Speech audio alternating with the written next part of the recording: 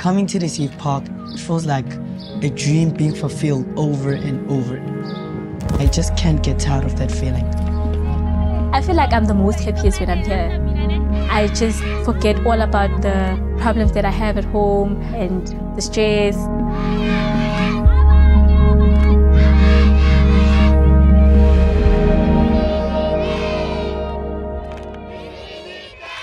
One of my elder friends told me about the safe park that you can come and do your stuff there because I know how lonely you've been feeling.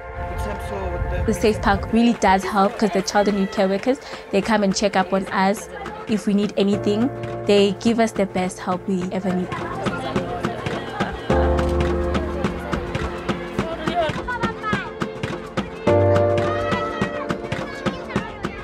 The way the child and youth care workers interact with people like me is so heartwarming. And not only do I get emotional help, I also get academic help.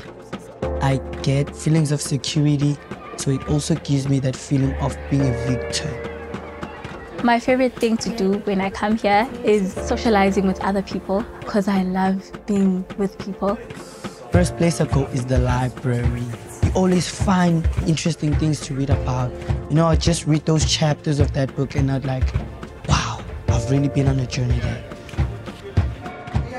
Here at the Safe Park, we started a youth forum to help create innovative solutions and help build leadership skills to tackle the issues that we find in our community.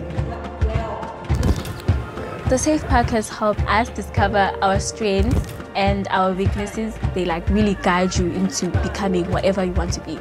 So I feel like they made a very big impact in me. It makes you feel like your future is in the right hands with myself and the child and youth care workers.